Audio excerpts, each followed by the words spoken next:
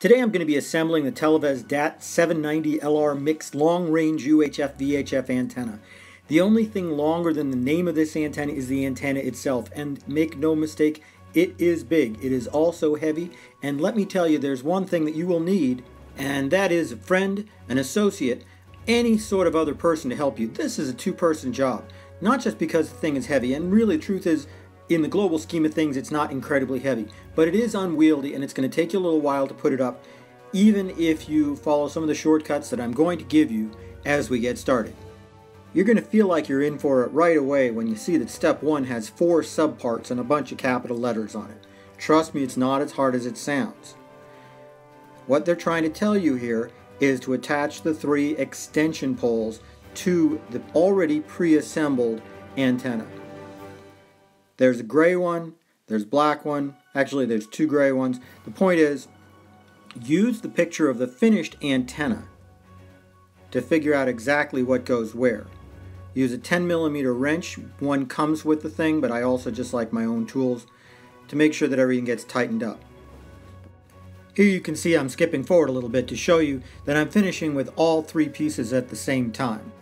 Don't forget that on the other side of the antenna assembly, you're also going to put on that really small extension pole that you were probably looking at and not knowing what it actually did.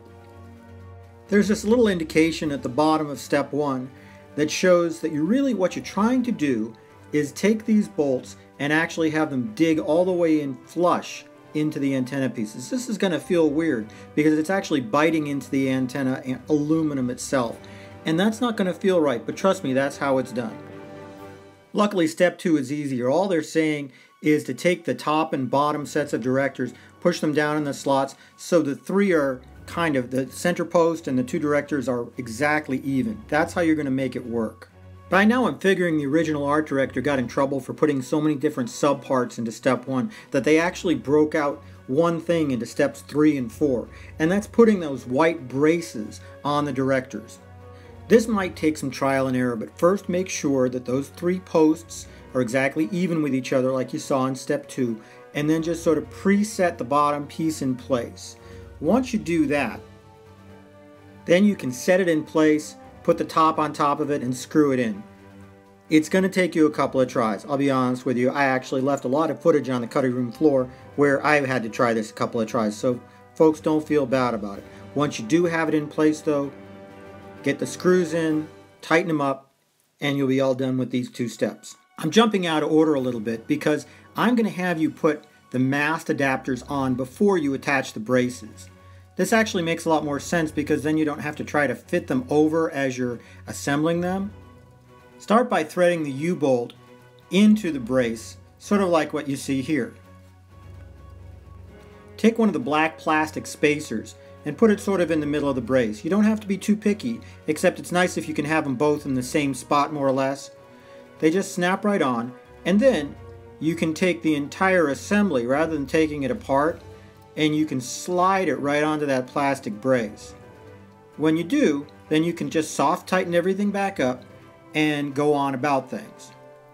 The key is to make sure that both mast adapters are pointing the same way, because if not, then honestly, you're not going to be able to put the mast on.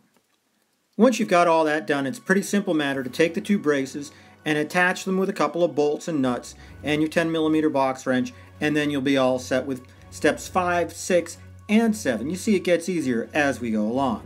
In steps 8 and 9, you're going to be assembling the pieces that hold the reflectors on.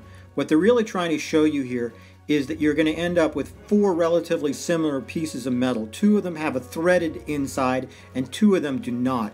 You're going to start by putting these plastic tabs on the threaded inside and when you're putting them on make sure that they are oriented like you see in the picture because it's very easy to get them upside down.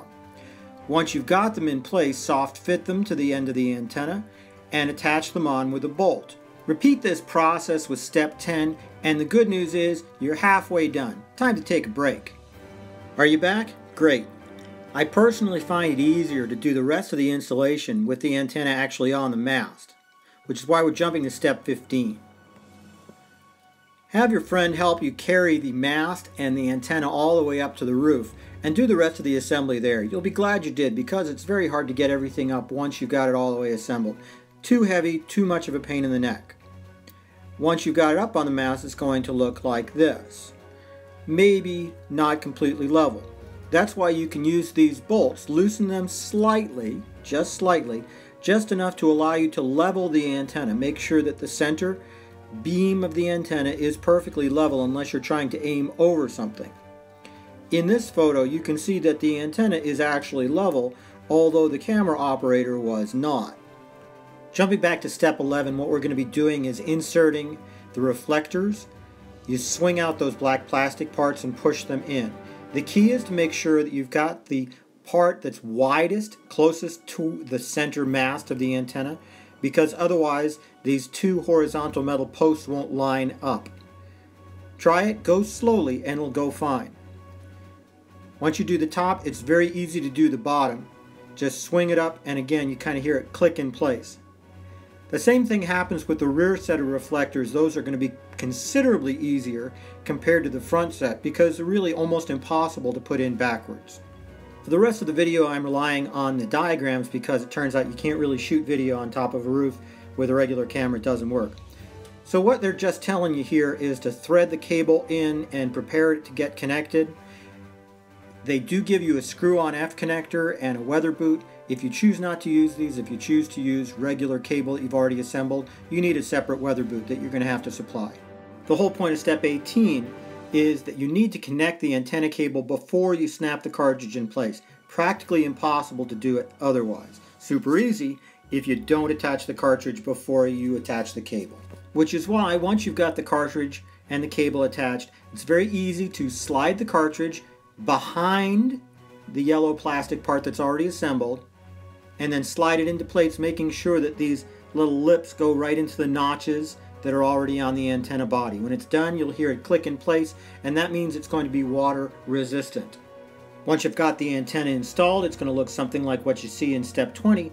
And unfortunately, I'd love to tell you that's the end of the video, but folks, there's just two more little bits, and we're going to be done after that. If you choose to use the built-in amplifier, you're going to need to connect the wire from the roof to the left side of the power injector and the wire to the TV to the right side. If you're not connecting a second TV, I recommend using a terminator in the inside connection. The last piece, and I promise folks this is the last, you've been really patient watching this assembly video. The last piece is to make sure that the antenna is properly grounded. Consult your local ordinances or a national code to make sure that you're following all the steps you need to take to ground the antenna. I'm not going to tell you what those are because they differ from city to city. Once you've got this antenna on the roof, and yes, I know it's going to take you 30 to 45 minutes to do all of it, you'll be really amazed by its power and durability. You'll be glad that you finally spent all the time that it took to put it up on the roof because you're looking at an antenna that's going to last you years and years. Thanks for watching. Thanks for listening. I know this has been a long one and not a whole bunch of animations because some of the video didn't turn out. So we'll see you again next time. Meantime, shop solid signal.